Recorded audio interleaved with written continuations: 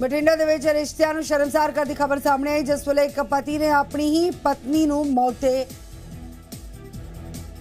ਘਾਟ ਉਤਾਰ ਦਿੱਤਾ। ਇਲਜ਼ਾਮ ਲੱਗੇ ਨੇ ਇੱਕ ਵਿਅਕਤੀ ਤੇ। ਉਸ ਉੱਤੇ ਇਲਜ਼ਾਮ ਨੇ ਕਿ ਉਸਨੇ ਆਪਣੀ ਪਤਨੀ ਦਾ ਕਤਲ ਕੀਤਾ।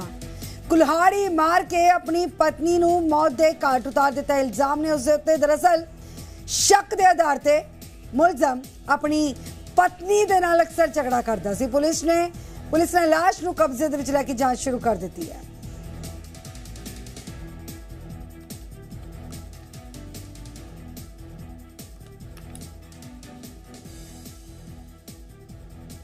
ਬਸ ਆਪਸ ਮੀਆਂ ਬੀਬੀ ਦਾ ਸੀਗਾ ਘਰੇਲੂ ਆਪਸ ਚ ਚੱਲਦਾ ਰਹਿੰਦਾ ਸੀ ਇਹਨਾਂ ਦਾ। ਕਦੋਂ ਕੁ ਇਹ ਮਰਡਰ ਹੋਇਆ? ਤੇ ਸਵੇਰੇ ਹੀ ਹੋਇਆ ਸਾਨੂੰ ਸਵੇਰੇ ਇੱਕ ਮ- ਮਿਲੀ ਖਬਰ ਉਦੋਂ ਹੀ ਆ ਗਏ ਸੀ ਹੁਣ ਅਸੀਂ ਵਾ- ਵੀ ਵਾਰਸਾਂ ਦੇ ਬਿਆਨ ਤੇ ਕਾਰਵਾਈ ਅਮਲ ਚ ਲਿਆ ਰਹੇ ਹਾਂ ਅਸੀਂ। ਕੌਣ ਇਹਨਾਂ ਦੇ ਵਾਰਸ ਪਿੱਛੇ? ਤੇ ਭਾਈ ਆ ਰਹੇ ਜੀ, ਭਾਈ ਦੇ ਬਿਆਨ ਤੇ ਕਰ ਰਹੇ।